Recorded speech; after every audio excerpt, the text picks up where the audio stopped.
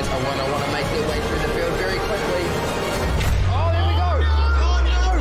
That's massive! This is it! This is over! I can't believe this! Oh my oh god! God, what?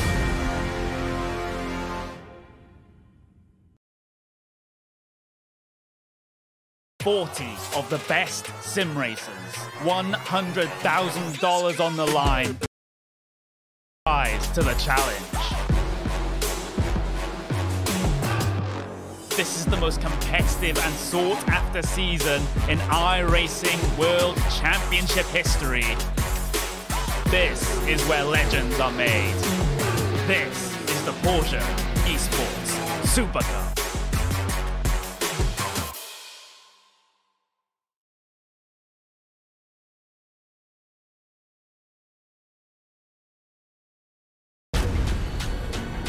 This is the original esport racing game. This is iRacing.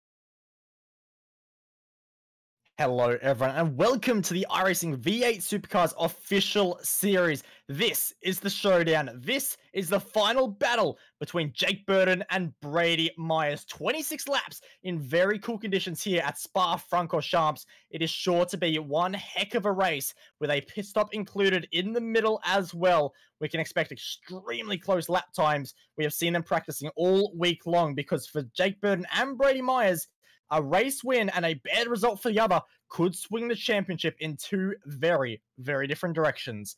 I'm Bo Albert. Alongside me is Mr. Zachary Hanlon with J.K. Kennedy in the director's box for tonight for what is going to be an extremely long race, Zach. And long races around Spa, they're not too unfamiliar for us, but so much concentration is needed around a circuit like this because it's high speed, there's big braking zones, and there is so, so much room for error.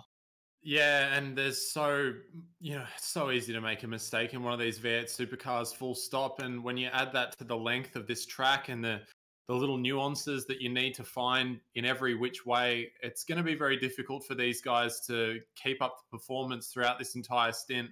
Going to have a pit stop in there as well to boot, but one thing they're not going to have to worry about too much is the tire life. Track temperature very low at the moment, sitting currently at 17 degrees, and with the uh, daytime at 6:55 a.m. local. Uh, don't think that that temperature is going to come up too much, even over 50 minutes, as we watch Jake Burton coming up through Eau Rouge and over Raidillon on his lap. Oh, that was very wide.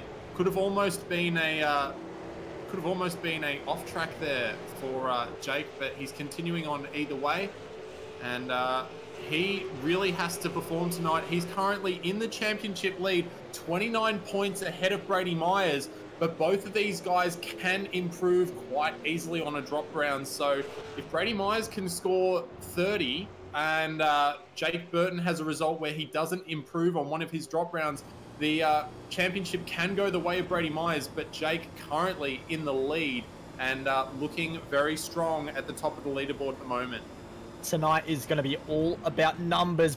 Jake Burton, that was uh, sideways and a half through there, and that is his second lap over and out. But tonight is about numbers. Currently, 29 points is the difference between Jake Burton and Brady Myers in the championship. But the number that is more important is the number one. And what I mean by the number one is one second in qualifying time between those two drives at the moment. Brady Myers on screen for Zero Esports. He needs to pull something out here. He needs to make something ha happen. He needs to maximize every millimeter of this seven kilometer circuit, making the run to Pouhon corner now. And he needs to maximize the entry into this corner, does it perfectly, all over the curb. And this needs to be a perfect lap because starting down the back at Spa isn't the worst case scenario. The run down the Kemmel Straight will always, always open up opportunities for you. It is so long where slipstreaming can open up at any moment to get a nice pass done into Lacon. But if you start at the back, you're just going to allow those at the front to step away and pull away easier and easier. So for Brady, he needs to make this lap count. A 20.6 is not going to be enough as he's working his way now through Stavelot and onto the long run, heading towards Blanchimont, one of the most quickest, terrifying corners on the circuit. And if he doesn't improve, he's currently looking at a ninth place grid slot at best, and it could get worse as well, as plenty of drivers are completing their second laps at the moment. Now exiting Blanchimont, the hard braking zone, into the bus stop chicane, and he lifts it off a little bit there. So I don't know if this is going to be a quick enough lap. And it's not even going to count by the looks of it. The countdown hits eight minutes. Brady Myers, ninth position on the grid. That is an absolute nightmare to kick this one off, Zach. Yeah, that's uh, not going to be good for his championship hopes. And I don't mean any offense to a couple of other guys at the front of the field, but they haven't been looking like uh, being in race winning positions throughout a lot of this season. And Jake Burton most certainly has. So he's got a big advantage here. He is the man who is going to take us away from pole position today alongside Evolution Racing Team's Jordan Ross. Sam Sutton is going to line up just behind them. He'll have James Scott for company on the second row of the grid. Andrew Gilliam in his Pursuit Sim Racing machine will start out of fifth position with Damien Johnston in his Gone Rogue Motorsports machine there. Corey Preston for JMSR Racing will start from row number four alongside Thomas McMillan. And uh, Brady Myers for Zero Esports Championship hopeful is going to have a lot of work to do throughout this race. He'll start from ninth and must essentially finish in first or second to have a chance at taking away the championship. He'll line up alongside Premier Esports racing team Brian Borg in the top 10 position. Craig Jones kicks things off on the sixth row of the grid. He's got Thomas Hins for company in car number 12 in position number 12. Brenton Hobson, car number 7. It's not quite a 6, but he will see what he can do from 13th with Mario Vlasic and Mitchell McLeod completing your top 15. Christian Smart, a bit of a disappointing qualifying for him in 16th, a hell lot of shove. Zach Baker, Greg Sharp, and Steve Jansen make up your top 20 in this 26 car grid, which is rounded out by Sean Thompson, Joshua Pickett, Jamie Stovall, Michael Kirpham, Rob J. Harris, and Josh Perwin. How will this go into La Source? It's a very tight corner. It is an incredible overtaking opportunity. The Revs will rise for the final time here in this season of the iRacing official V8 Supercar Series. The clutches go, and we are away for race number 12. 26 laps here at Spa-Francorchamps, and will they all exit La Source in one piece? That is the question we're all asking. Jake Burton makes a beautiful start. He is nice and clean out of that corner. Chaos in the background, though, all just getting very close to one another, but it does look like everyone has survived. Fantastic news, but the next challenge comes at Eau Rouge. Jordan Ross having to settle himself single file against Sam Sutton as everyone else tries to make it happen side by side between Brady Myers getting extremely punchy on the opening lap, which is what he needs to do. As you can see, there is a crash in the background. The number nine car is around and a massive shunt up and over. He will go into the barriers. Somehow more cars are involved.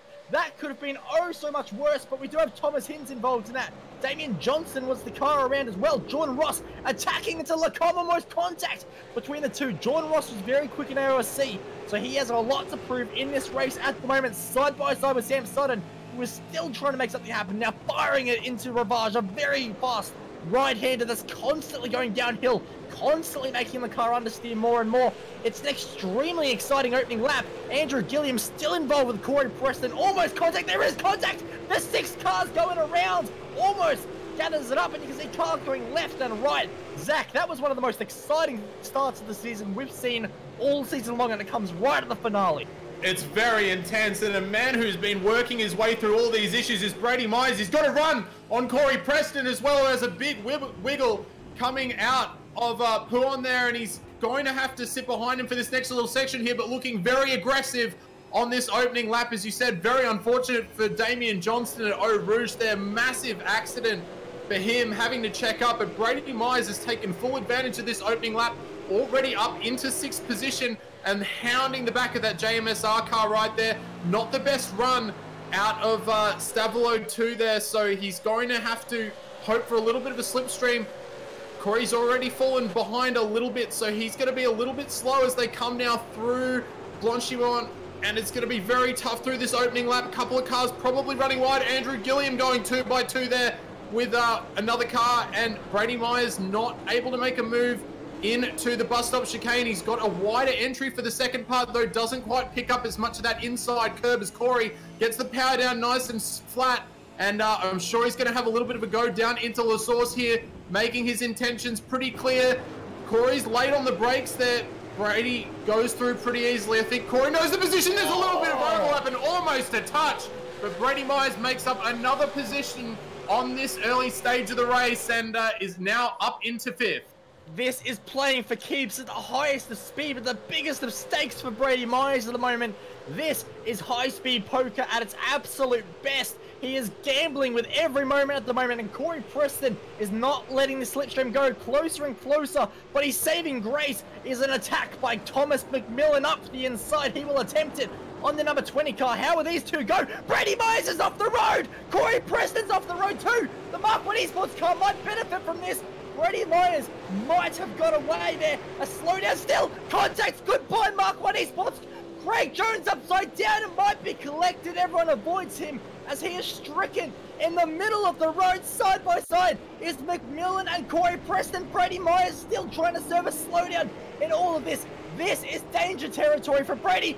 Myers almost getting, oh, sorry, Preston almost turned there. Mitch McLeod benefits on this into the Pouhon now. A massive shake up there.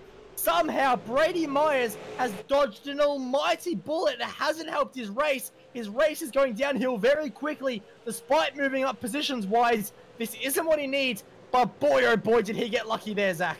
I cannot believe what just happened there. That was pretty intense. And Brady has lost a significant amount of time, as you said, making up positions. It was 3.6 over the line uh, at the beginning of this lap. 7.1, and McLeod's gone round the outside of McMillan there. It's not going to work for him, though, and now he's hung out to dry. Brian Borg is going to get through, and uh, Mitchell McLeod's going to try and give Brian a little bit of a bump draft down the back straight here. And Andrew Gilliam down the right-hand side of almost both of them. Oh, a little bit of a touch as they come into Blanchimont. Can't go through the entry, and Brian Borg's got off the track, and I cannot believe that he managed to snake through that tiny little gap. I mean, not that he had anything to do with it, but that was very intense racing from quite a few guys there. We got a replay on screen thanks to Modem Simulation. Check out Gilliam on the right there, and Mitchell McLeod actually bump drafted Borg into a spin there, and both of those guys ran very wide. Brenton Hobson, wise old head on those shoulders, backing right out of it and saying, "No, thank you, lads. I'll uh, I'll stick back from that for a little bit." And uh, that was pretty crazy. But meanwhile, up at the front of the field, Jake Burton just passing a little bit of traffic there. I think that's uh, Mario, Mario Vlasic. So um, leaders coming through a little bit of traffic though. Mario has consistently gotten out of the way very nicely, and uh, I'm sure we won't have any problems from him. You can see that gap from Brady Myers as Mitchell McLeod and Andrew Gilliam are going side by side once again, not holding much between them, and Mitchell is going to just back out of that one. It's already made up quite a few spots already though. Has Mitchell McLeod 15th up in the 8th position. So the Torque Inc. driver having a great run, but just deciding to settle back out of that one. Yeah, that was, I think, a wise choice by Mitch McLeod. That was only going to get dicier and dicier. And uh, Andrew Gilliam was already on the absolute limit of grip there. But what we might do is just a little bit of a throwback Thursday here. Even though it's not a Thursday, it is indeed a Monday for the soft, the final time of the season. And we'll have a look at a replay of the race start in just a moment's time. Here we go, Motum Simulation replay up on screen because it was a chaotic start. There was so much going on. As you can see there, the 26 cars on the grid that we have. Jake Burton was our pole sitter. He had to make a good start. You can actually see the wheels wobble just for a second there of Jordan Ross as uh, he was trying to preempt the start. And uh, the lights will go out right about now. And it was a great start by Jake Burton. Just absolutely perfect traction. No challenge until the source, which is exactly what you need as the pole sitter. The headlights on all the cars looking beautiful at the moment. iRacing really needs to make them flashable in my opinion. But this is where things go a lot wrong for Gone Rogue Motorsports. And it did get very rogue out there. It was a roguish move by Brady Myers. You can see side by side into R Rouge. It was always going to end a little bit dicey there. But Brady had a championship at stake. And you can see a big moment, a big sideways moment. And then just gets a bit of a hip check. Goes spinning around And three, two, one, a big collection there from all the other cars. Thomas here, absolutely nowhere to go. So just an innocent victim in all of that. We'll go on board with Thomas for Ratu Racing. You can see he's got uh, Brenton Hobson just in front of him. So his vision was completely impeded. How was the moment through Rouge? But then the moment gets a whole heap worse. And unfortunately, I think Hinsey just had a car on his inside. So even though it looked like he drove straight into him, I don't think Hinsey had any other choice. So a nightmare for him there.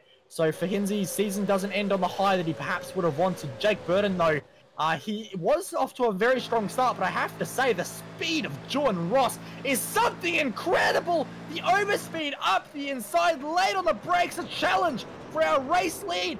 Jordan Ross was quick in AOSC. He knows how to race around Spa. He knows how to overtake to that was textbook stuff by the Evolution Racing Team driver. Jake Burton going to try and make this one with a bit of a cutback, but he's going to go around the outside. Sam Sutton saying hello. Might want to buy into the action on this as well with his V8 stops uh, teammate as well. So how is this going to happen in the next few corners? Because Burton has to set something up here. He has to get a run on the Evolution Racing team. But I have to say, Zach, all through AOSC, which I was actually lucky enough to compete in, those Evolution Racing Team cars are hooked up around here in race trim. Jordan Ross, he could be the dark horse that helps Brady Myers out just a little bit. Yeah, well, it's uh, working well at the moment. He's obviously got very good speed in that car right now. And, you know, Evolution Racing Team are a well established, long time purveyor of these V8s, and uh, they most certainly know how to set them up. I'm sure they've got a lot of manpower going into those setups, which is going to be helping as well. And Brady Myers, the gap has started to come down to the leader. Obviously, a little bit of bickering up the front there is going to help him. So it's not all over. We're still very early into this race. I can't believe it's only been four laps, coming up to nearly five now. But uh, yeah, Jake Burton, I mean, he's possibly, I mean, he's he can relax a little bit so long as Brady doesn't come first or second, he's kind of safe. So he doesn't have to go too crazy, but he does need to stay ahead of Brady. So he can't, he really can't get involved in anything too, uh, you know, full on. Otherwise, he's going to maybe have an accident. And uh, as soon as Brady's ahead of him, that's when he's really going to start to panic. So he can probably just be pretty cruisy for the opening stint of this race. Just ensure that he keeps ahead of Brady and that's all he really needs to do. So Jordan Ross might uh, be able to pick up from that relaxation of uh, Jake Burton and eke out a little bit of an advantage here. But uh, yeah, that Evolution Racing Team car looking strong and a great move for the lead as well. Yeah, it absolutely was, but we'll just see how powerful the slipstream is for Jake Burton. Closing and closing, but it's a lot more powerful for Sam Sutton, it has to be said. Already passed on the brakes. I won't even get excited about that one. Sam Sutton just so much more confidence on the brakes there to pull the car up another com. And another pass done. And the issue at the moment for Jake Burton is that James Scott, another Evolution Racing Team car, is just behind. So if those ERT cars are really coming to the fore, well, then that's a whole lot of an issue because there is another one just waiting in the wings at the moment. But this top four is definitely one of the better uh, battle packs to be keeping an eye on at the moment. You can see just looking a little bit dicey on the run into Pouhon, which is not an overtaking opportunity at all. But current championship standings are on screen at the moment. Burton, 1,782, and just some 50 odd points behind is Brady Myers. So if you think this championship is already decided because Brady Myers is a bit down the field, you could not be any more wrong. There is still every chance that this race turns on its head. Because as you can see, that the Zero Esports driver Six seconds is a big margin, but when we have 21 laps left, that is a lot of racing to go. When it's 21 laps of Spa, this race has barely even started, Zach. Yeah, I mean, we've still got at least 40 minutes worth of racing left, and six seconds is a fairly big margin, but I mean, one small mistake here can send you off into the wall. It can put you into a spin, which can cost you three or four seconds, or maybe even more if you turn, you know, if you end up the wrong way or something like that. So, yeah, there's still every possibility here that Brady's going to be able to bring it back, and he's showing good pace. He's definitely one of the faster cars on track at the moment. Fastest car at the moment is Jordan Ross as they come across the line. Just seeing uh, the fact Brady's last lap was not particularly great, so he's going to have to pick it up. But uh, there's a lot of margin that can be found around this track, so he just really has to concentrate, making sure that he hits all of his markers. Don't worry about the gap to the guys up the front. Just hit every marker as best as he can, and uh, he'll claw him back in if he just keeps on. Uh, if he just keeps his driving really smooth, because these guys are probably going to have quite a bit of a battle. Maybe not so much now, but as we get into the pit stop phase and just after the pit stop phase, there's a lot of time to be won and lost there also. Absolutely, there is. But look at this. Corey Preston doesn't care about no championship. He wants positions, trying to find a way past Brady Myers. No way through at the moment just yet. So he will have to wait for another day. But look at the body language of the Zero Esports car. It's not happy, is it? It's just not content. Bra uh, Jake Burton also running a bit wide into Rivage as well. Almost opened the door up for James Scott. Doesn't walk through the door though. Just decides to stand outside, ring the doorbell a couple more times. But uh, Brady Myers still under massive threat. So what can he do over the next few laps to build this margin back to that top four? The gap between them is still quite large at the moment. And like you say, Zach, his last lap was just, it was matching Jake Burton. But Jake Burton was getting passed by cars, so naturally his time's going to be a little bit slower. So he has to find something here. He has to manage some way to just find a switch and really light those tires on and make a nice run towards the first pit stop. But the question I have looming over my head right now, Zach, Jake Burton, has he gone too hard at the start of the race and is burning up his tires? Because I'm looking at the Evolution Racing Team car of Jordan Ross right now, and I don't want to sound like a fanboy, but the way he is controlling his tires, I think is just perfect. He's getting quicker and quicker as the stint goes on. He's managed to break himself away from Sam Sutton already. He is driving beautifully at the moment. I have to say, if this is the kind of form we can expect from Jordan Ross in the coming future, that's the commentator's curse. He locks up into the bus stop. But if we can expect this kind of form from Jordan Ross more often, I reckon next season he could be our championship protagonist.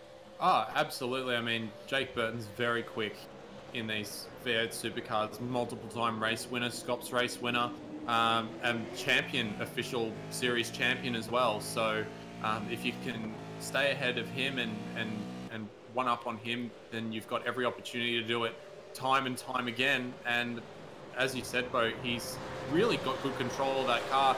That lockup he had into the bus stop, I mean, it's going to maybe put a little bit of temp into the tyre, but didn't, you know, he only missed the apex by about 30 centimeters or probably less than that. So he uh, didn't really lose much braking performance out of that. And he has worked a little bit of a gap out. He's just got to get a little bit further away in these uh, twisty sections here so that he can break that draft. He just really needs a solid run, solid lap or two just to get out of that one second range because even if you're one second down coming out of the source or even 1.1 seconds, you can be, you know, 0.7 or, or 0.6 by the time you get up to uh, the next set of corners. And then you basically have to lose half a second over the next uh, curvy bit to, to really uh, give up your advantage. So he really has to work hard in these twisty sections to just get away. Um, but he is looking very good, two tenths of a second faster than most of his other competitors. And uh, Jake Burton's still looking pretty good.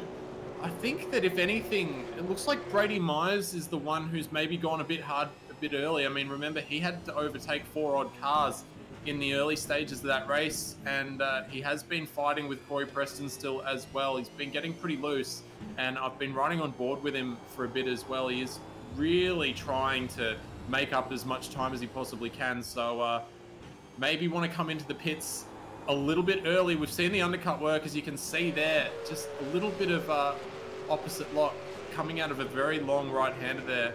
So Brady Myers, I think this is the time where he's going to have to try and utilize a massive undercut here and uh, try and really one-up his competitors. Well, he's going to have to try something, isn't he? It's just not working for him at the moment. He's not clawing that gap back to James Scott, Jake Burton, and Sam Sutton, who are in that little train of three. And it's only a train of three because one second is the margin for Jordan Ross at the moment, doing a great job out in front. You can see they're breaking into La Source. He's just able to skip away that car looking very nice. But Jake Burton is getting a little bit closer to the back of your second place driver, Sam Sutton, as well. But so is the battle pack behind. Corey Preston under quite a fair bit of pressure at the moment. With, uh, I think that's Andrew Gilliam right up his clacker as they make their way down Rouge. And it's going to be a very interesting run down the Kemmel Straight as to what Andrew Gilliam is able to pull out because if you can nail the exit of our Rouge, there is so much you can achieve at the end of the Kemmel Straight, but it's not the best run for Andrew Gilliam, so he's going to have to try something over the next few laps to really make this happen, and it's just not working for him.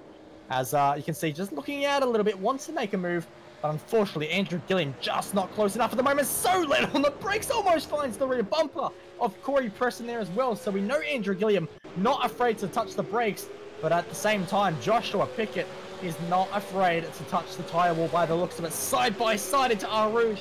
This was never going to go well. Apologies for the background music at the moment, but the massive contact and Joshua Pickett went so hard into the tyre wall at Eau Rouge. That is a horrible accident into the wall there, and hopefully all is well with him because that was the worst kind of accident. Turned around right at the apex in Eau Rouge.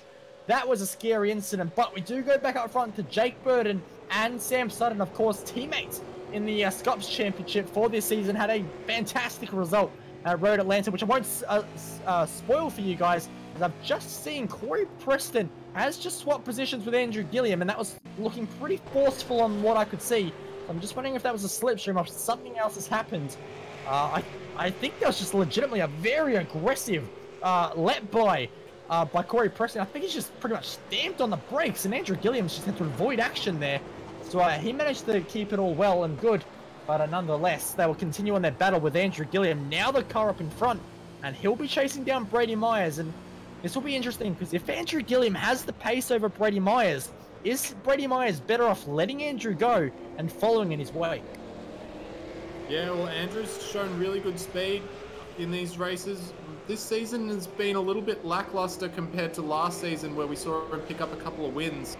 Uh, but he's definitely got a lot of pace in that pursuit sim racing car. So, yeah, it's definitely possible. We'll have to see if he does start to catch up to Brady. Might be able to help Brady a little bit, but I mean, just getting involved in any battle for Brady is not ideal at the moment. He's already dropped another basically two and a half seconds to the leader um, in the last couple of laps. So he's not lapping as fast as he should be. Last time round was actually not too bad, 220.899 compared to our leader Jordan Ross on a 220.7. Uh, so only, you know, 10, 1.3 tenths there um, that he really let go, but um, hasn't been great for a little bit as Sam Sutton now is looking a little bit under pressure, having to drive fairly defensively. Just ran a little bit deep there. And now we might see Jake Burton have a little bit of a push. He's not going to do it. Still probably thinking about victory at this point. So we're still quite early in the race. Almost coming up on the uh, halfway mark in about three or four laps, uh, which is when we will expect quite a few of these races to start pitting and start thinking about strategy but for the time being, Jake Burton's still involved in this battle. Sutton's uh, fallen off Jordan Ross quite a little bit now. Jordan has now exceeded the slipstream margin ever so justly. Uh, 1.4 seconds is the gap from him to Sam Sutton. So I suspect that now we will actually see uh, Sam and Jake falling away a little bit further from our race leader as they're not able to claw back as much of that advantage with the slipstream. We might even see them losing about three to four tenths a lap, uh, depending on if they decide to battle or not as well. It could be even more than that. And Jake Burton's got a very good run. You can see he's definitely got the slipstream as he comes down into Blanchimont very early on the turn in for Jake Burton. Actually got a much nicer run through the corner. And he might go for a little move here, backing out and saving a little bit of fuel. So he's definitely content behind Sam. Sam's running enough pace for him at the moment to save a little bit of fuel and uh, go for a bit of pit strategy here, which we have seen Jake Burton do quite success successfully throughout this season. Yeah, he definitely has. He's not afraid to just mix it up a little bit and go for a different alternative strategy, which sometimes in these positions is what you have to do as uh, we get the leaders across for yet another lap. And I have to say, this is the most bunched up they've been for a little while as they make their way down through to uh, Eau Rouge a very, very fast section of track at the moment. Sam Sutton uh, trying to make the best of a run, but look at the run uh, Jake Burton has got in comparison. He's so much quicker over the hill. And now in the drive, if he's going to go for any kind of move, now is the time to do it. And from the body language of the car, it doesn't look like it until now. Lines up for a move, lines up late on the brakes, and Jake Burton is just about through, and through he goes into position number two. So does Jake Burton now, after just keeping it a little bit more quiet for a few laps, just relaxing the tyres, trying not to stress the car all too much, does he have the pace to go and hunt down Mr. Jordan Ross, currently in your race lead, as James Scott at the moment lurking in the background. What can he do against Sam Sutton? He's been a lot more passive in this battle than I might have expected. I thought maybe, just maybe, he'd be willing to settle back a little bit and maybe go for opportunities. But it has to be said, he really has just been happy and content sitting in position number four at the moment. But Jake Burton, the body language of his car already suggests he is pushing, trying to chase down 1.9 seconds to your race leader at the moment as they make their way out of Pouhon. And this is all about what can Jake Burton can do right now. If he wants to define and really make his stamp on this championship, which he is currently leading in the final round over this driver, Brady Myers, he has to make something happen now. I think the gap between Brady Myers and James Scott has come down, but only by a single tenth of a second. Your points on screen there with that adjusted pass that uh, puts Jake Burton into position number two, boosts him up to 17, 1,791 points. So a little bit better there for Jake Burton in regards to the championship situation, but he still leads nonetheless. And I don't want to steal a quote from the Fast and the Furious, but it does. But it doesn't matter if you win by an inch or a mile, because winning is still winning. And at the moment, James Scott, I said he was getting passive in this battle. He's looking a little bit more aggressive now. Sam Sutton perhaps struggling a lot more with tires than we expected. And James Scott starting to sniff an opportunity, gets a little bit sideways out of the bus stop chicane. Maybe an opportunity into La Source, maybe an opportunity at the end of the Kemmel Straight. And he chooses to wait for Les Combes. Yeah, this is really helping up. This will really help Brady Myers as well. Jake Burton was lucky enough to uh, get a, a pass up the up the straight at the top of the hill there, and uh, that didn't really cost them too much time. Probably only cost him about half a tenth uh, which is definitely uh, probably why he took that opportunity to go past Sutton. But as you said, Bo, James Scott looking pretty good at the moment. I think a lot of these guys are not going to play too much of a game right now. We're going to come into the pits very shortly, and I think that uh, if any of these guys start getting too leery right now, they know they'll give up the advantage that they have to the cars around them. So they really just need to work together for the next lap or two, not give up too much time because I imagine that quite a few of these guys will want to start going for the undercut. And they've also just got Brady Myers behind them in case anything goes wrong also. Mitchell McLeod getting past there by Steve Jansen for 10th position. And Mitch has had a couple of troubles throughout this race, having to give up another position there. Jamie, uh, that's Sean Thompson, sorry, in his KRF Motorsports machine, racing with Zach Baker and a nice move there from Sean puts him up into 14th position as we see Jamie Stovall going down the inside of, uh, I think that's uh, Greg Sharp in his uh, Stealth Simforce car. So uh, that's Brian Borg, sorry, who went through. So good job there from Brian and uh, Mitchell McLeod chasing down Steve Jansen once again. Mitchell's had a really good pace. He was up as high as seventh earlier, so something's obviously happened to him in the last couple of laps. But uh, this little battle pack at the back of the race has uh, been forming for quite a while. We've had our eyes so much on the front of this race because of the championship, but these guys are still battling very hard. And Brian Borg obviously uh, had an incident earlier on and is now starting to work his way back through the pack as well. Brady Myers gap still uh, quite significant to Jordan Ross at least. It's uh, 9.8 seconds. So he's losing buckets of time to the leader, but he's not losing too much time to the pack ahead. He's actually clawed in a little bit more time on that lap, about three tenths of a second. And Jake Burton, uh, I believe, has come in. Oh, he's lost a spot actually to James Scott and Sam Sutton. So I don't know if he had a slowdown there or something, but uh, he's decided to, or he's had to give up two positions there. We'll get a modem simulation replay and see. oh, massive, massive moment into turn one on the rear brake stack. I've come back on the replay and looked at it, and you will see it on the modem simulation replay. Look at this bang, retires oh, yeah. gone. Massive sideways moment into La Source.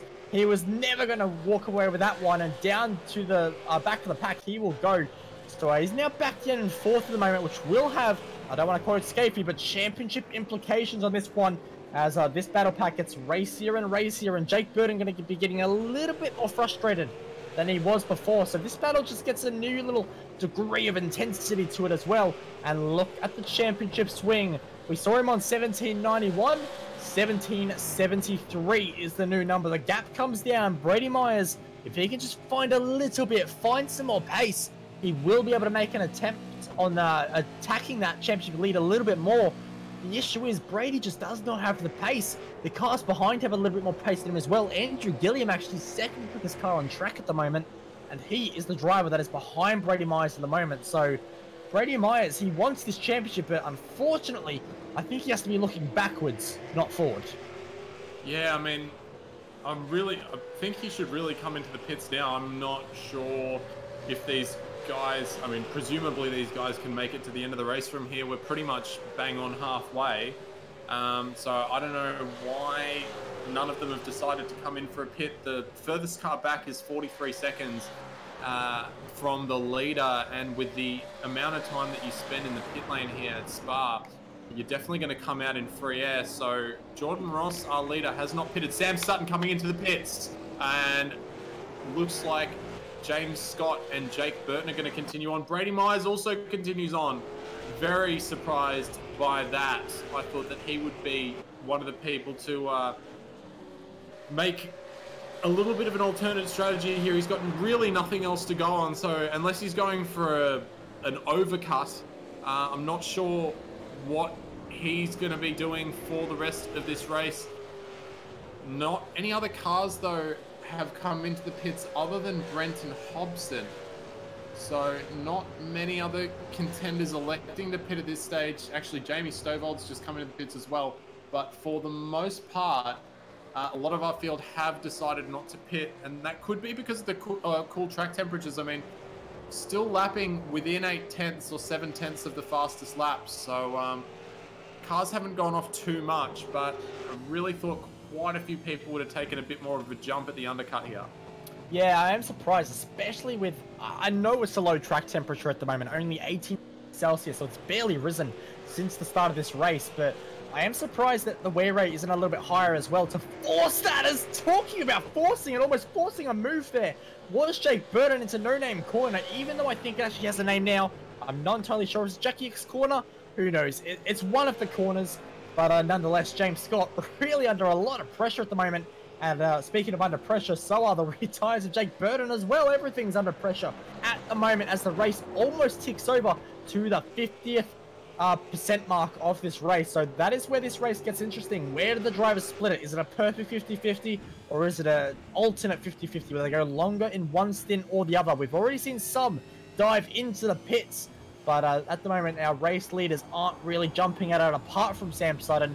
So it'll be interesting to see how that one lap undercut does benefit him, especially if the tyres don't wear out as much in the second stint, which we should expect. But look at this for Dicey at the moment, getting his nose up where it doesn't belong, and cut off is Jake Burton. Almost a massive shot through Blanchimont. That is not a part of the circuit you need to pass. And I think what that tells me is they are both pitting on this lap, and Burton wanted to be the car leading into the pits. They both lock up, and indeed they do. Both come into the pits, and uh, that is a unfortunate moment there for Jake Burton. He wanted to lead into the pits. It didn't quite happen, and I don't know if it was lag or something else, Zach, but I've got a feeling he got a little bit too close to that pit wall, and uh, that could be a little bit of damage to that Holden Commodore.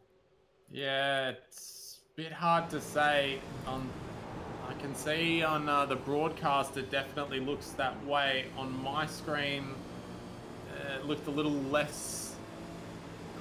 Didn't look quite as bad, but that was a big moment. Whoa! Look at the handwork there from Jake Burton. Very quick on the uh, on the catch there, but it was a bit bit crazy. He was there in the first place, honestly. But uh, that's where he wanted to be. He's the one fighting for the championship, and uh, he wants to make it a little bit more difficult for himself. I can uh, I can respect that. Jordan Ross gets oh, away. Sutton is going to take the race lead if he gets the momentum out of the corner, and Jordan Ross is not going to be able to do anything about it. By goes Sam Sutton, and with hot tires as well, he's going to get a beautiful run up through Eau Rouge. And it looks like Brady Myers has also gained quite a bit of time on the leading pack as well. So he's 3.9 seconds behind Jake Burton. That's a lot better than it was before, but it's uh, not great. We do have a new race leader here, Sam Sutton. Didn't look stellar in the first stint, but was still within a good margin of our leader before the pits, Jordan Ross. Jordan has shown great pace and uh, really consistent driving in that car. He's going to have to work to get that lead back, though, so we'll see how he's able to do. But uh, Sam Sutton obviously sitting in that slipstream for such a long time and uh, also getting that undercut, which we were talking about, really paid dividends. And again, very surprised that uh, Brady Myers did not decide to chew onto that one. Imagine where he could be, possibly just behind this man, or a lot closer to that man, Jake Burton, who leads him in the championship. And Brady looking for uh, new ways to get around this track a little bit faster. Not um, a professional Brady, but uh, usually the grass isn't the best option. Jake Burton runs a little bit deep into the S's at campus here, and he's still keeping up good speed in that car. But James Scott is also still ahead of him, so he's got a little bit of work to do in effectively what is fourth position, as I think we've uh, only got one car out the front of this field that hasn't pitted yet. Yeah, absolutely. Will we? Uh, yeah, no, you are indeed correct. Only one car, which is Steve Jansen at the moment. So we'll see what he can do at the moment as he does actually dive into the pits right on cue. So the 17 car dives in and uh, he will resume his normal place on the circuit wherever that might be in this race at the moment with uh, still quite a couple of cars involved in some wars. Uh, currently still 22 cars lapping around the circuit, but uh, plenty of them with a fair bit of damage. But across the start finish line, Sam Sutton and John Roscoe and then James Scott and Jake Burton, who are a lot closer as well. So those two have bunched up a little bit. And this could be a bit of a defining moment here, because if Burton gets tangled up with James Scott in this battle, and look at him slide the car out of the source, Brady Myers is not far behind either, so that could be an opportunity if these two just keep continuing to fight a little bit.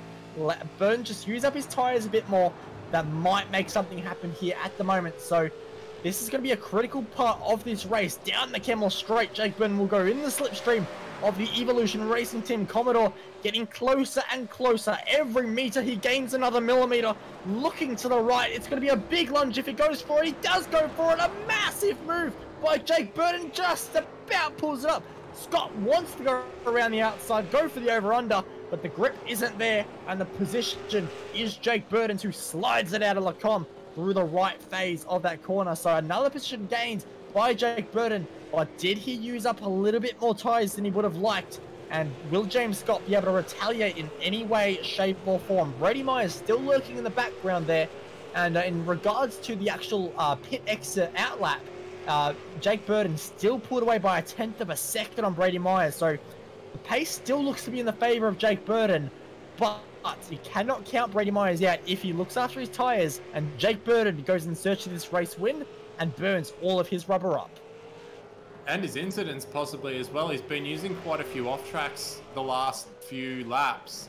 I've noticed he's uh, cut No Name Corner on the inside there, which is a bit of a no-no in terms of uh, iRacing's algorithm there. So, um, according, I mean, we we know the timing's not always perfect, but uh, does look like Jake Burton may have a few incidents, and according to me, he's continuing to rack them up still, as he really is trying to push at the moment. And he did rack up another one then, coming out of Stavelot, massively over the uh, over the painted lines there, and that's another easy place to do it, coming through uh, Blanchimont as well, but not this time.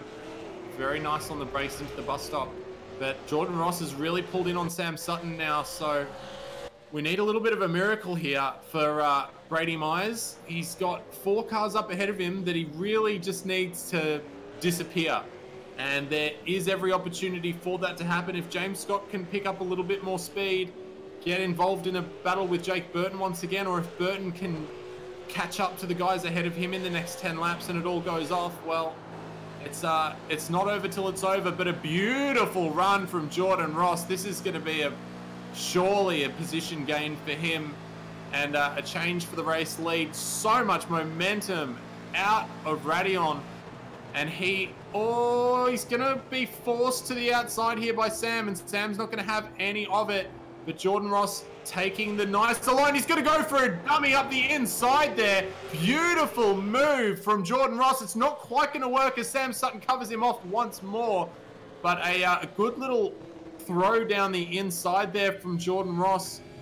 And just showing Ooh. Sam Sutton with a little bit of a bump that he's not uh, unwilling to get a little bit rowdy here. And now he's got a great run as they come down into Pouhon here. Sam already very defensive on that inside line. And this is going to check things up massively for Jake Burton as well. And also James Scott. And oh, this, this, oh, it's not, it's not over this race, guys. It really isn't. As Jordan Ross goes to the inside as they come through the S's here side by side. He's going to have to go the long way around. No contact between the two. Very respectful. There's overlap. And they run wide on the exit there. Sam Sutton pushing the limits of the circuit here. And he's pushing Jordan Ross beyond them. And look how much closer the uh, trailing two cars there of Jake Burton and James Scott are. And of course, that's bringing Brady Myers, who before the pits was over nine seconds behind the leader. That's come down to six and a half seconds now. In the last few laps, Jordan Ross still looking for a way past Sutton. And uh, it's all really starting to kick off. We've always seen early stints, the guys usually keep it pretty tame. But now that the pit stops have happened and it's all about track position, the only thing that they can do is fight to the very end. And uh, now is about the time they are getting started. It's going to be a very interesting final few laps here at Spa Francorchamps for the season decider here. And uh, Sam Sutton putting it all on the line at the moment to stay in the lead. 10 laps to go. That is all that remains here in this season of the iRacing Official Championship. It has been a brilliant season. We've seen highs, we have seen lows, and more than just meaning Eau Rouge there. It has been a season that has packed it all. But what does the finale, week number 12, have in store? A showdown between Jordan Ross and Sam Sutton seems to be on the menu at the moment, but the chef just isn't delivering at the moment as Jordan Ross continues to pile on the pressure in the pressure cooker at the moment. And Sam Sutton just trying to handle the heat as he makes his way through the. And he is throwing everything he's got at this, but all the while, he defends every little position here, defends every little attack that Jordan Ross throws at him. Jake Burton and his fellow red car, James Scott, continue to look closer and closer and closer. Brady Myers going to try and make something happen in this battle as well, and I have to say, they were very, very pacey last time around. Brady Myers second fastest car on track. Only faster car than him was the driver behind Brady Myers. Andrew Gilliam and Brady Myers, they're making a charge. So even though it's a long way back, if this front pack continues to fight as Jordan Ross and Sam Sutton are at the moment, you cannot count them out for a second. Seven kilometers per lap is a lot around this circuit. There are so many passing opportunities straight to slipstream past your competitors. Hard braking zones to dive it down. And as Jordan Ross proved as well, there is opportunities at every corner. Just because breaking into the first part of Les Combes seems like the obvious answer, there's nothing stopping you from trying at the second phase or the third phase of Les Combes either. This is a circuit that promotes racing, promotes passing, and promotes sim racing as it constantly puts on the action and makes a clinic of an action and a thriller for all of you watching at home. If you are watching on the iRacing Esports Network, hit that subscribe button. You don't want to miss what this championship throws up every single season. It is a fantastic one, and it is always going to deliver. As you can see now, the top six are in the same camera shot. There is nine laps to go here at Circuit de Spa-Francorchamps, and the top six get closer and closer and closer. Brady Myers, three tenths quicker than your race leader, Andrew Gilliam, an entire half a second. Yeah, this is starting to get, uh, there's a little bit of, I don't know what it is, but it's starting to feel a little bit tense, at least in, uh, in my part of the commentary booth here.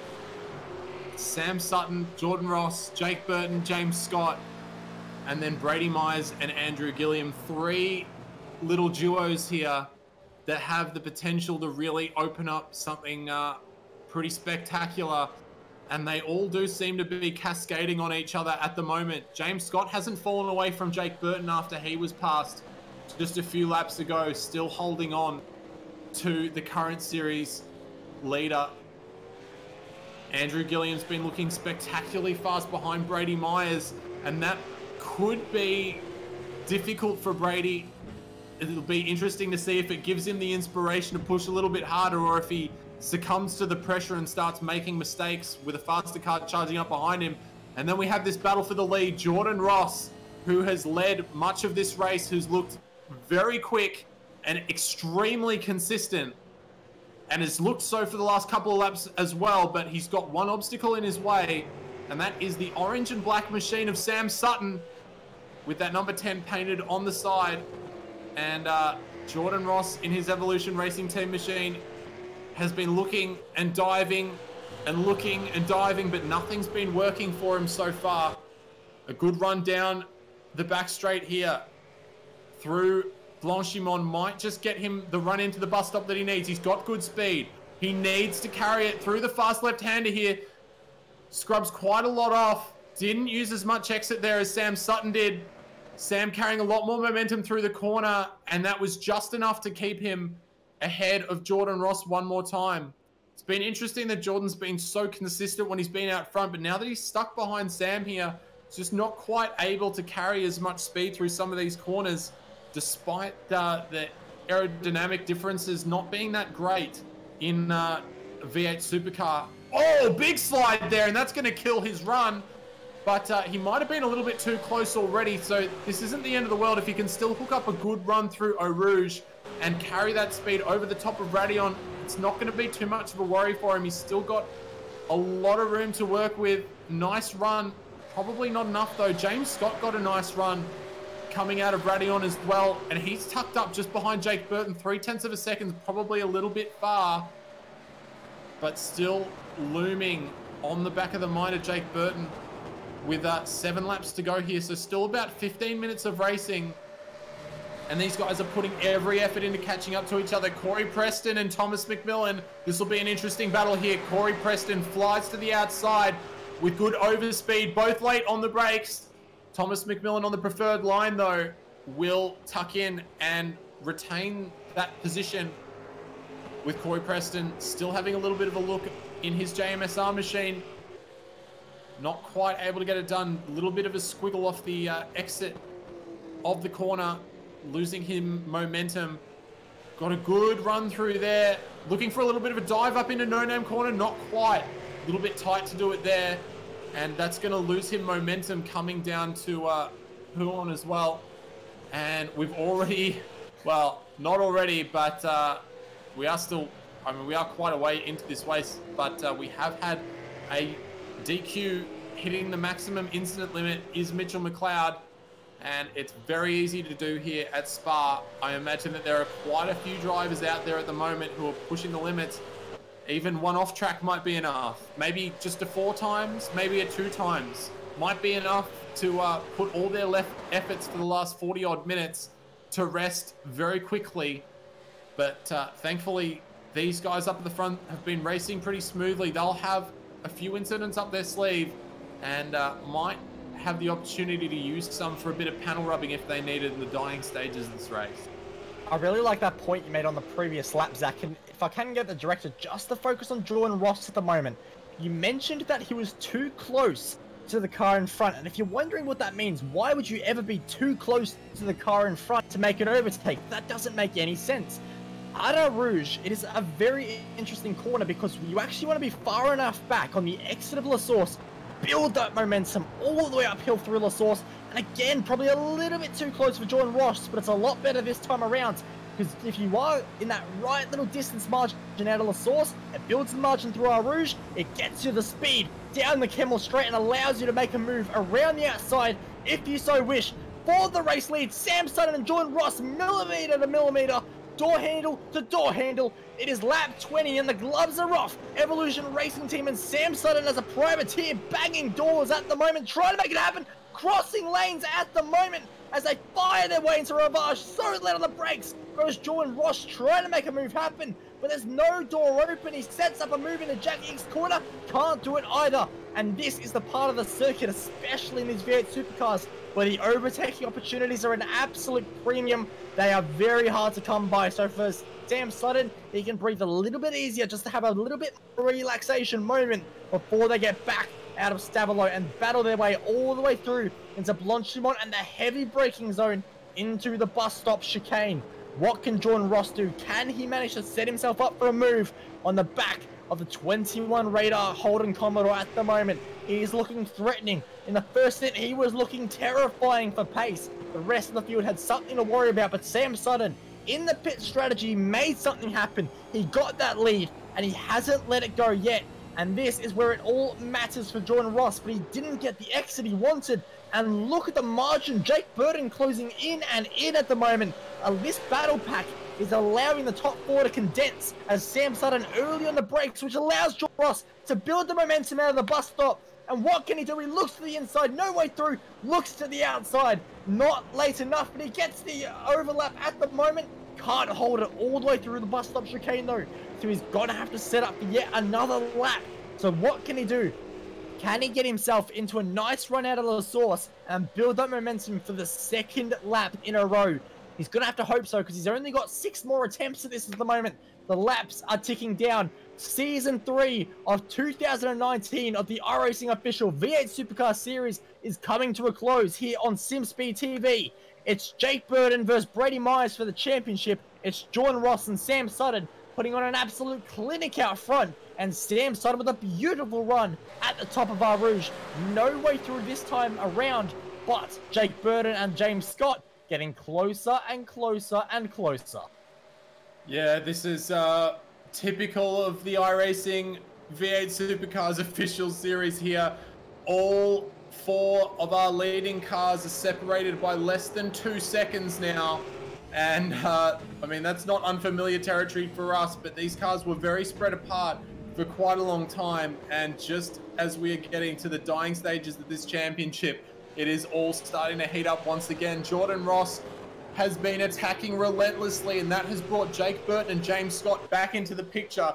And if they keep on going, those two drivers behind Brady Myers and Andrew Gilliam could get involved, and that's when things start getting very interesting indeed. Brady Myers is the man that needs to finish inside the top two, and while it looks pretty far at the moment, with he'll be looking down at that train and thinking anything can happen. I've got to go, go, go, go. And uh, he has been doing so. He's been very quick the last couple of laps, matching the guys up ahead as Jordan Ross has a little bit of a look. He's very close at the moment. Coming out of Stavelot now, he's going to have to go for a very good exit. Nice run, little bit of a slide though. And he's now also got the added complication of having that car of Jake Burton just behind him as well. So he's going to have to look forwards. He's going to have to look back into this braking zone, into the bus stop as well. Very wide on the apex for Jordan Ross. He's going to pick up an off track there for sure also. And uh, not enough of a mistake to really be under threat from Jake Burton. Thankfully, that time by, but this is really condensed now. We said two seconds before. Now the gap between the top four cars is 1.2. The gap back to Brady Myers from the leader is 4.8. And there's four laps to go. We easily know around here if you're battling, you can lose a second a lap so easily. Last time by for the leader is 21.4. Fastest lap for Sam Sutton is a 20.2. That's 1.2 seconds slower last time by than his fastest lap. Anything can happen in the dying stage of this race. And uh, with a couple of guys who are just here for glory, oh, it's going to be very interesting these last four laps. But uh, Brady Myers is really going to have to keep his head down if he has any chance of winning this championship. He needs to try and throw something, doesn't he? Or he needs a little bit of moment. Um, we can't say that Jake Burton is flawless. You think back to what I would say is our greatest race of the season, throwback to Road Atlanta. Where was Jake Burton on the last lap? If you didn't see it, I'll tell you where he was. Backwards, losing positions, lost I think eight positions on that final lap. That happens today. That could throw the championship all away for Jake Burton. This is high stakes, high pressure here at Spa-Francorchamps. How is it all going to round out? We do not know as they round their way through Pouhon and Sam Sutton a lot wider than he would have liked to have been, which gives John Ross a little bit of a run at the moment.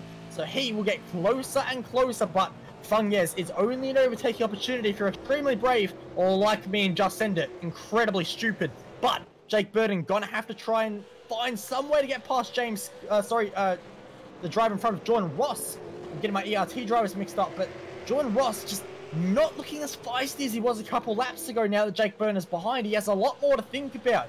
It's not just about getting that race lead. It's can I get the race lead without sacrificing, if it goes wrong, second place as well.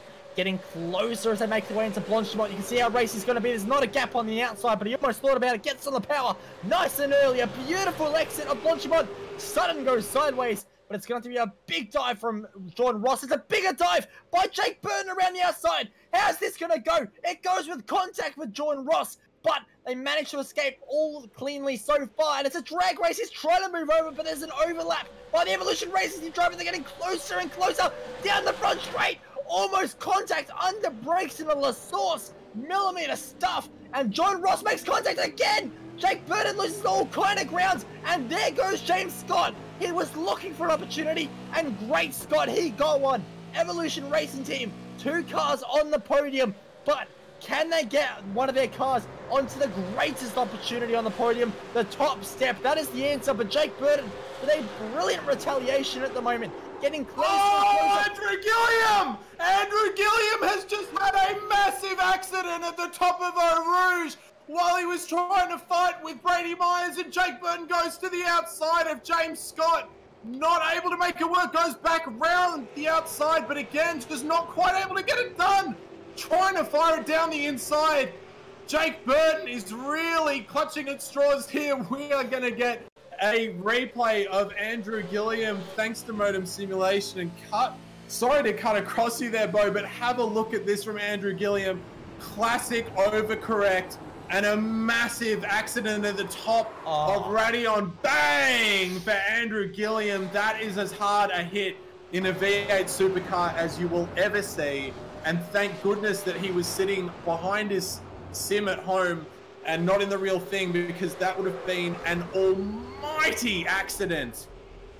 And uh, unfortunately, that has ended quite a good battle, but it's really let Brady Myers loosen up a bit, and now he can focus on chasing this four-car battle at the front. Yeah, absolutely. No, no apologies at all needed for that, Zach. A massive moment for Andrew Gilliam and his season, which was looking so promising. He's been such a great competitor all the time in the 12 races prior to this. Unfortunately, the number 12 goes a little bit wrong. But Jordan Ross going to have to try and make something happen as round number two on uh, Sam Sutton into this one. Jake Burton, what can he do? He's still attacking the Evolution Racing Team driver of James Scott, but now Jordan Ross has a lot more breathing room now to fight for this race lead. Just down to three laps to go, and that is still six minutes of racing here at Spa, so there's still plenty of time to dice around. But in terms of overtaking opportunities, they are beginning to run a little bit thin. But he's in a great opportunity now. We'll get the margin 1.6 seconds and potentially a look for the lead. Atlas, a brilliant move if he can pull it off. Sideways on the exit though, and Sam Sutton, it's VTEC Pro, and he is so much quicker and will easily lead into Eau Rouge. Jordan Ross has to be smart, back out of it now, and make something happen on the exit. We'll see what happens. Contact made. Oh, Sutton all kinds of crossed up over the change, and now a brilliant run for Jordan Ross gets closer and closer, and this should be a slam dunk at the end of the Kemmel Straight, breaking for Les Combes, goes to the outside, Sutton squeezing contact, and they're both in the wall. A massive moment for Jordan Ross. How have they both kept it out of the wall? I will not Oh know. a massive God. shun. This is going off the final race of the season for the iRacing Official Supercars Championship, and the gloves are off. There is nothing that is going between these drivers right now. It is everything they have got. Sutton, Ross, got your top three. Jake Burton in fourth. A brilliant opportunity to perhaps win this championship, but he has to stay out of trouble. And I don't know about you, Zach, but at this front battle pack, all I smell is trouble. Oh, mate, it is absolutely crazy how close these guys are getting to each other. I cannot believe that Jordan Ross and Brady Myers were able to escape from that one.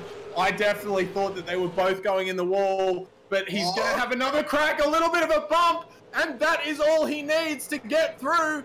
And now he's uh, Sam Sutton is going to have to defend from another Evolution Racing Team car, and that's going to check these guys up again. Brady Myers is just behind. He's within two seconds of Jake Burton, and uh, if these guys battle for another couple of corners, he's going to have the draft for the last two laps of this race, which will be monumental for him. He may be able to get this.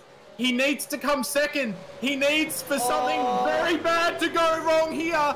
And it's looking very spicy. No, no, no, no, no, James Scott down the inside. Sam Sutton contact. Jake Burton trying to go through has to check up as they come down in the bus stop. James Scott probably not going to try and give it up, although he does have to. And now Brady Myers, well, now he is most certainly in the slipstream. He is within firing range of Jake Burton, but he really needs, if all three of these cars would have come to grief and just spear off the road and Brady goes through on P2, the championship is his, but he's getting a bit too excited. A big lockup into uh, LaSource there is going to kill a lot of his momentum.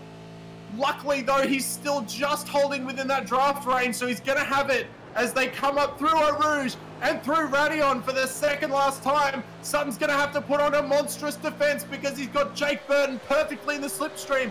He's got James Scott who has the slipstream as well. They might even go three wide as they come down into the next set of corners here. James Scott's thinking about it, but he doesn't have any room to do it with. Jake Burton going to have to defend the position. And luckily for Sam Sutton, not having to put up any defense whatsoever, but Brady Myers is just there. He's almost right on the tail of these guys, and he's within a second, essentially, of the championship victory.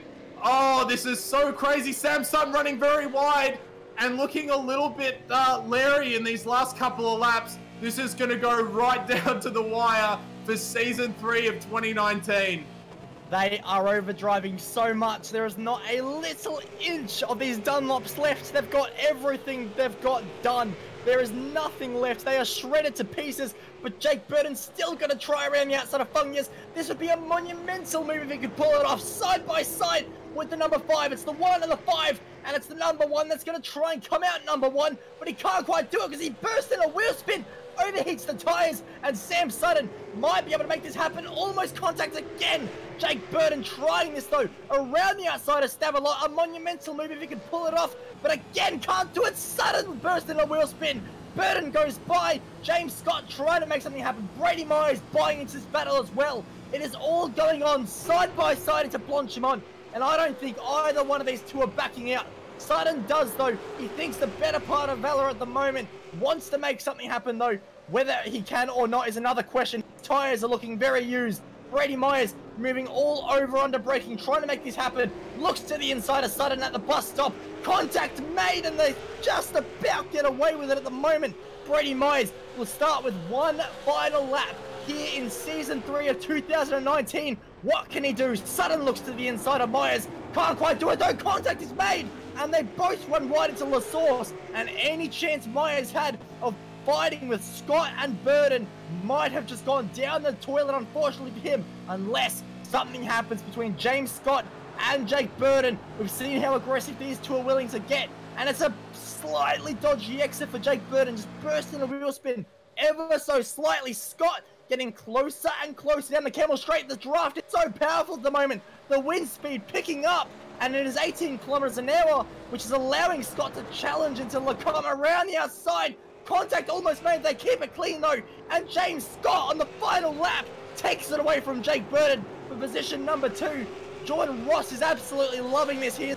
Absolutely bolted 2.8 seconds up the road. Burton wants to fight this back though, can't quite do it. Fighting behind, Brady Myers getting closer and closer. And if Burton throws anything at James Scott, this could go all horribly wrong at the moment. Brady Myers has cleared Sam Sutton though, so Sutton might be demoted to fifth at the end of this race after leading for so long in the second stint. Brady Myers still trying, wants to get closer to Jake Burton as they're struggling for traction out of Pouhon. Look at the body language of the car sliding the entire way through. Under brakes in a Fagnes, a massive braking zone, but it's all about finesse. Setting up your run bit by bit, carrying the momentum to burst out of Stavelot in just a few moments' time. But Burton's tyres are looking very second hand. Second hand is also the state of James Scott's apex. He did not make it and he's going to lose speed all the way down here if he doesn't get go down properly. Jake Burton burst in a wheel spin a little bit, but the speed is still good. Closing and closing, and he might have a chance in a Blanchimont. Where does James Scott defend? Burton actually on the brakes in the grass as well. What can he do? Through Blanchimont, it's going to be a dive into the bus stop.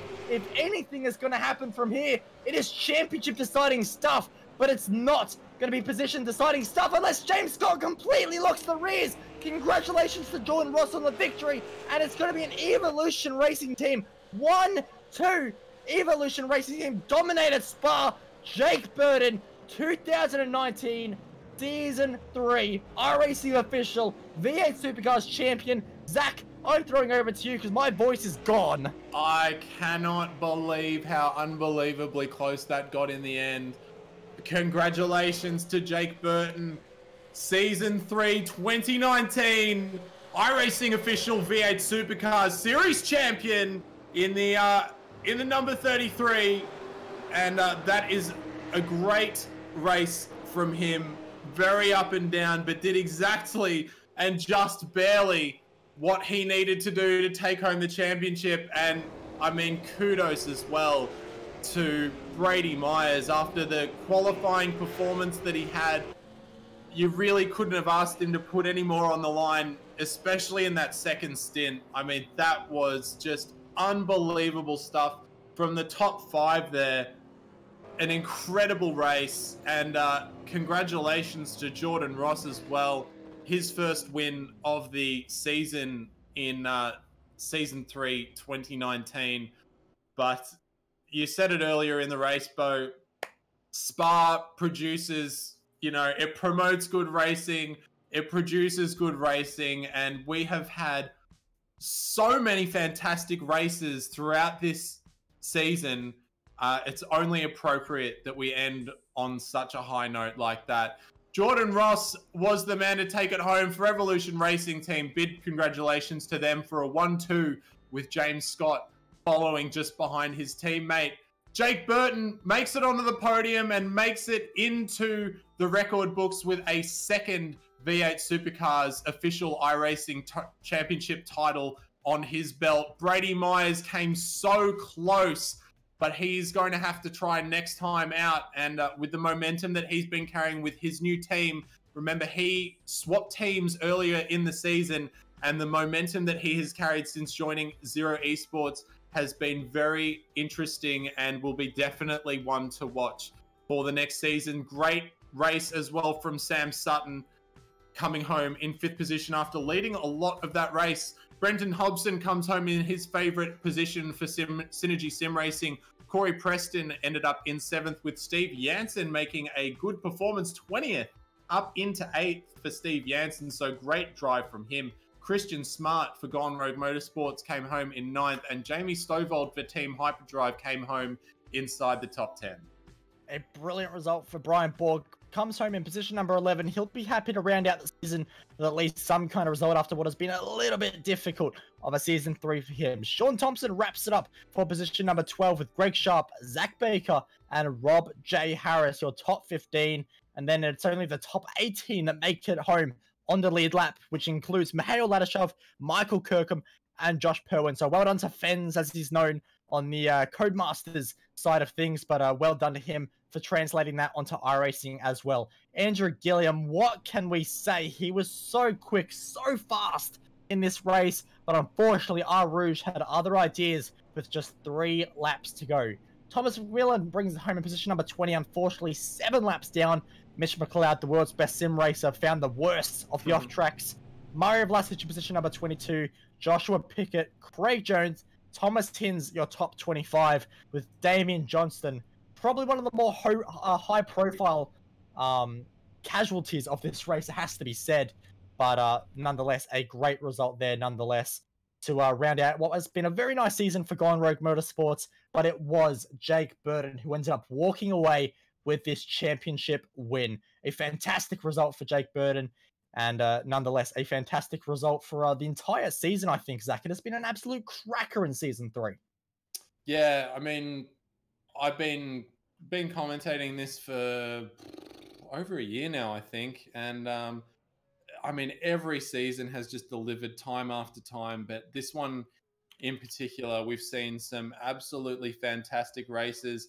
We uh, are going to bring our uh, championship winner, Mr. Two time iRacing official V8 Supercars champion, Jake Burton, up into the booth. Jake, congratulations. That was a very difficult race for you, um, but you did everything that you needed to do to bring home the championship.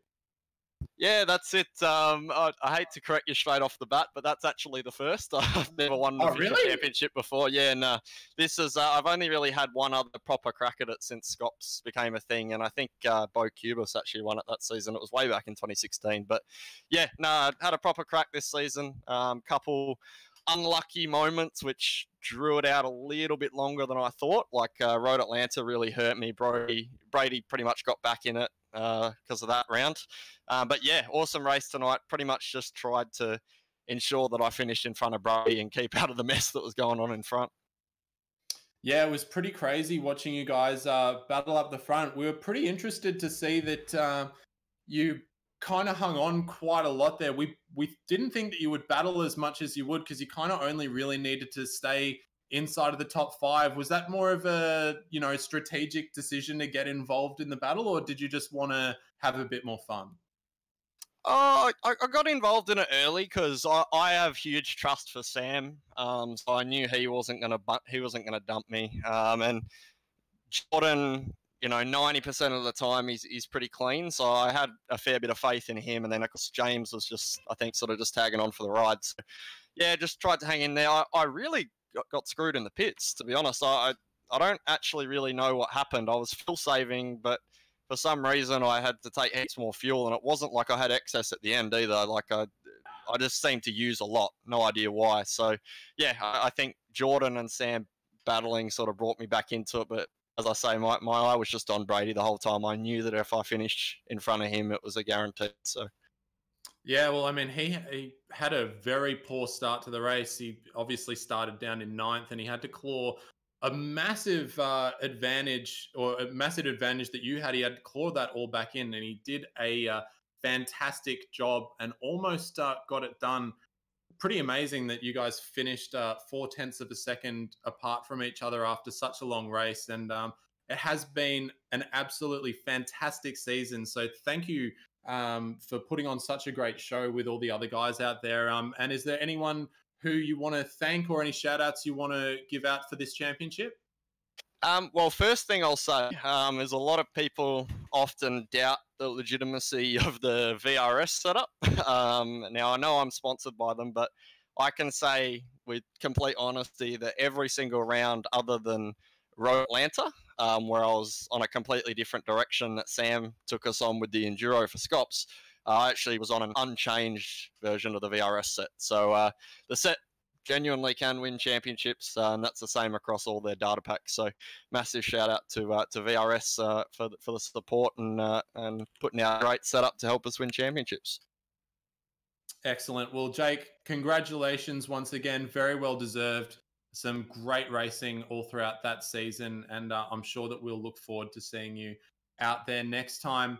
Um, we have so enjoyed everyone joining us this season for season three, 2019 of the iRacing V8 Supercars official series. It has been such a pleasure bringing all the action to you. If you thought we had a great uh, race tonight, make sure as well that you chuck a big thumbs up on the video and that you subscribe to the iRacing Esports Network and also jump over to uh, SimSpeed TV. Uh, we've been presenting the iRacing V8 Supercars official series for a very long time, and we look forward to continue bringing it to you for a much, much longer period of time, including next season, which will uh, give us a week break. So we won't be with you next week, uh, but the week after, we will be back at it with these 650 horsepower Australian V8 supercars. Uh, but up from us up here in the commentary booth, once again, we thank you so much. My name is Zach Hanlon. Joining me in the commentary booth was uh, Bo Albert, Jay Kennedy, and also our series champion, Jake Burton. Thank you so much for watching and have a great night.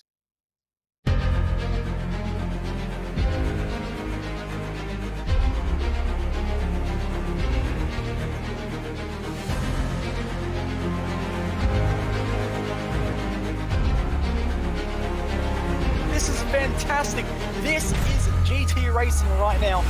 He's got traction. He's going in the outside. Ah. Both of them. Maloney.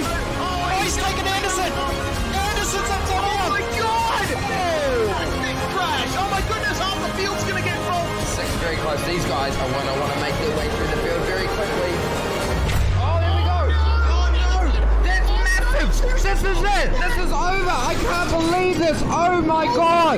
God, what?